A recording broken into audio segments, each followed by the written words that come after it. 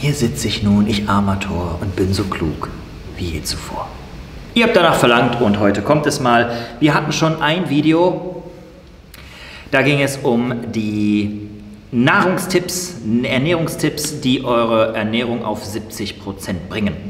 Da waren natürlich auch ein paar Supplement-Tipps bei. Jetzt tauchen wir ein wenig tiefer in die Supplement-Thematik ein. Und heute gibt es die Top 5 Supplements. Ganz wichtig dazu zu wissen ist, wenn ihr nur ein Supplement kaufen solltet, dann ist es hier Platz 1. So ist das Ganze gerankt. Wenn nur zwei, dann Platz 1 und 2 und so weiter. Die bauen also nicht unbedingt aufeinander auf.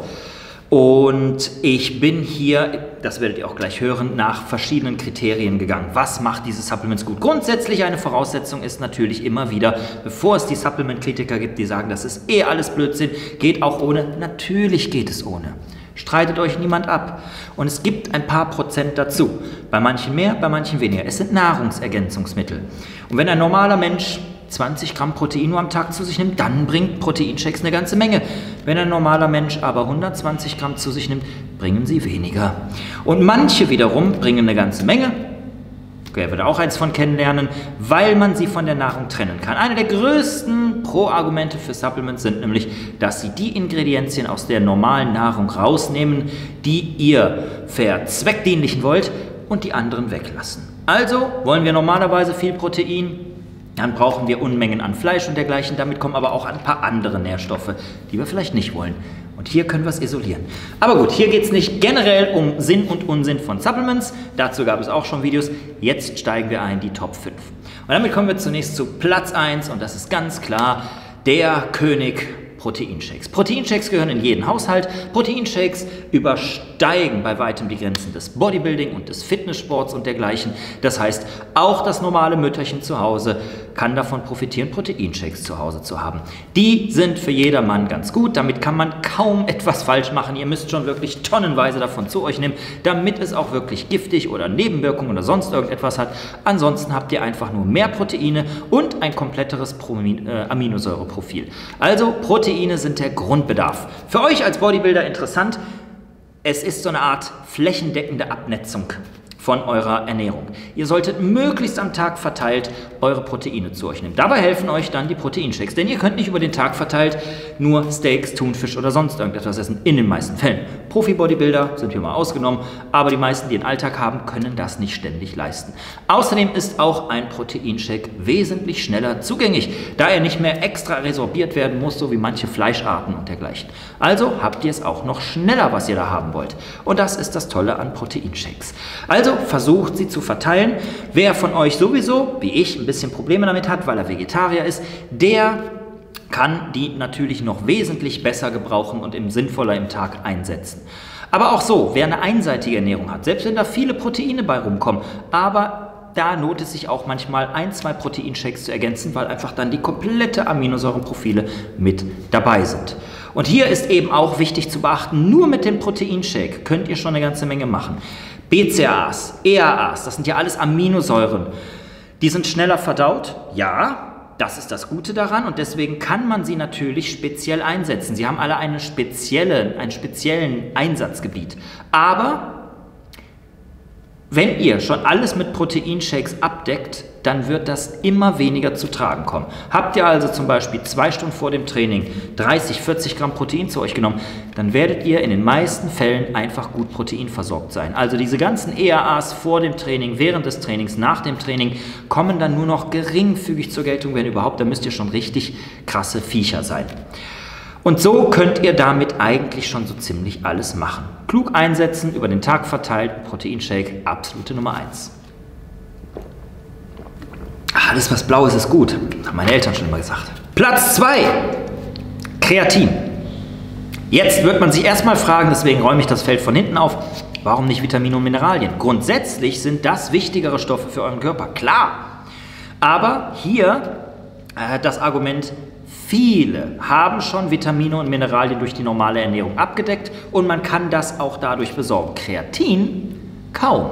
Ja, Kreatin ist Fleisch drin, aber nicht so, wie wir es wollen.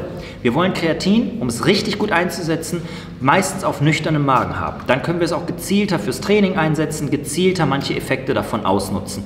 Grundsätzlich schaffen wir es auch nicht durch den Fleischkonsum ein so hohes Kreatinlevel zu bekommen. Und Kreatin ist das Supplement, das auch die meisten Studien hinter sich hat und am ehesten bewiesen ist, welche krasse Wirkung es hat. Außerdem so ziemlich eines der wenigen Supplements in der gesamten Supplementliste, wo man unmittelbar eine Wirkung spürt. Also innerhalb von nur wenigen Tagen bis Wochen merkt ihr, dass ein Kraftanstieg da ist, merkt ihr, dass ihr mehr wiegt, mehr Wassereinlagerung habt und dergleichen. Das kriegt man sonst kaum mit. Proteine zum Beispiel. Wenn ich jetzt durch die Glaskugel gucken könnte, dann hätte ich mal einen Wunsch. Angenommen, ich würde alle Proteinchecks, die ich in meinem Leben vertilgt habe, und das war eine ganze Menge, Subtrahieren, wie sehe ich genau jetzt aus? Gott, wird mich das interessieren. Und ich glaube, jeden Bodybuilder da draußen. Kreatin ist eine klare Sache und man kann es immer wieder beweisen. Und deswegen ist es auf Platz 2 vor allem sportspezifisch. Ja, Regeneration, Gesundheit und so weiter sind Vitamine und Mineralien besser. Aber, dazu kommen wir nämlich im nächsten Punkt, diese nehmt ihr meistens auch schon so zu euch. Kreatin eben nicht. Und deswegen ganz klar Platz 2. Platz 3, ihr habt es gerade schon gehört, Vitamine und Mineralien. Jetzt kommen sie doch noch rein, vor allem auch da wieder das gleiche Argument wie bei Proteinen. Für diejenigen, die nicht genug von dem Grünzeug zu sich nehmen und vor allem nicht alle Vitamine, denn da so, so viel Grünzeug kann kaum jemand zu sich nehmen und dann müsste er wirklich gezielt gucken, wo alles drin ist und dann hat er doch ein Vitamin verpasst. Eine Vitamintablette hat 40 verschiedene Vitamine in den meisten Fällen drin und Mineralien und ihr seid sorgenfrei. Und nochmal die Betonung, nur darum geht es bei Supplements sorgenfrei, auf Nummer sicher gehen. Vielleicht habt ihr hier und da mal dann ein bisschen zu viel, weil ihr schon den Salat dazugenommen habt oder das Obst. Aber ihr werdet es nicht überdosiert haben. Die Vitamintablette jeden Tag sorgt einfach nur dafür, dass alles abgedeckt ist und es ist aus eurem Kopf. Und natürlich ganz wichtig, durch diese Mikronährstoffe, die so wichtig sind für gerade unser Immunsystem und damit für die Regeneration, ist das eine Sache, die ein Muss ist für jeden, Sportler. Kreatin zum Beispiel muss nicht für jeden Sportler sein, wer Handball spielt oder Billard oder sonst irgendetwas. Nein, aber Vitamine, Mineralien, auch da wieder für die Normalpersonen sicherlich auch noch interessant, aber für die, die besonders auf Regeneration achten müssen, Leistungssportler, Sportler, ist es schon fast ein Muss. Also grundsätzlich Vitamine, Mineralien abdecken mit einer Tablette oder zwei und dann habt ihr das auch. Ich zähle es mal hier zusammen. Und damit kommen wir schon zu Platz 4. Das ist etwas, was, nun ja, etwas gemeinsam hat mit Protein und mit ähm, Vitaminen und Mineralien, aber noch weiter in die Richtung geht. Und zwar, hier kommt ein Supplement rein, was ich selbst, wo ich selbst keinen Unterschied spüre, wenn ich es nehme oder nicht nehme, was aber durch so viele Studien belegt ist und bewiesen ist und auch topologisch quasi alles besteht, dass man es reinnehmen muss. Und das sind Omega-3-Fettsäuren. Habt ihr schon viel gehört, ist vor allem wahnsinnig gepriesen worden in den letzten Jahren. Und ja, dem kann man sich nicht entziehen und das, und das will ich natürlich auch nicht ignorieren. Deswegen gehört es mit zu dem Konsum dazu. Aber ich habe schon so oft versucht, Selbsttests zu machen, nur dass es dabei nicht funktioniert.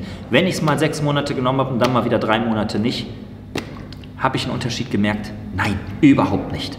Aber würde man das unbedingt bei Vitaminen und Mineralien und würde man es auch darauf dann beziehen, dann wird man vielleicht doch mal erkältet und denkt, oh shit, weil ich meine Vitamine nicht genommen habe. Aber natürlich erkältet man sich auch manchmal mit. Also es ist immer wieder die Qual der Wahl.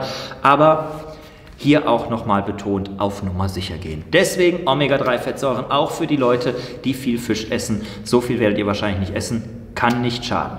Und damit kommen wir jetzt zu Platz 5 und da fusche ich ein bisschen. Platz 5 ist ein Pre-Workout-Shake. Deswegen wichtiger als sagen wir mal Intra und Post, weil das euch optimal auf das Training vorbereitet. Und den Post könnt ihr wieder gestalten mit normal Kohlenhydrate zu euch nehmen und Proteinen und so weiter. Dazu habt ihr auch schon ein Video hier auf dem Kanal gesehen. Aber der Pre-Workout, der ist ziemlich spezifisch. Und das könnt ihr mit den anderen Sachen nicht machen. Klar, Kreatin ist da mit drin, aber hier sind es dann besonders die Substanzen und das ist eben die Fuscherei, weil es eben mehrere sind, die da drin sind.